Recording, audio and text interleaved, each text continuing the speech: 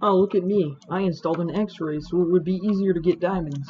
You know, I got all the diamonds I need, but now Minecraft looks ugly. Like, look at this, look at this. Nobody wants that.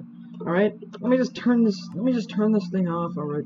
Just go right into global resources where I had it, and then just turn it off. I'm sorry, what?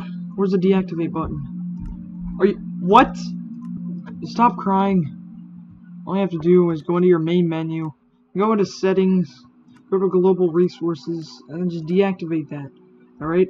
You have to be in your main menu, alright? I think that's stupid. Why why can't they just add that in, like in your game? For all those people who literally uninstalled Minecraft and reinstalled it just to get the stupid pack off, I'm sorry, alright? I'm sorry I didn't make this video sooner.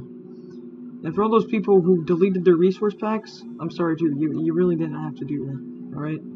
But uh, yeah, now you know how to do it, and this this is really stupid, alright? Why can't you just do it in-game? I, I don't understand. You're gonna be leaving every second you need that x-ray. And your friends are gonna be like, yo, what is that kid doing? He keeps on leaving, turning on his x-ray. Alright, well, thank you for watching this video. If this helped you, then you can leave a like. If it didn't help you at all, just tell me, hey, you suck, this is the wrong video.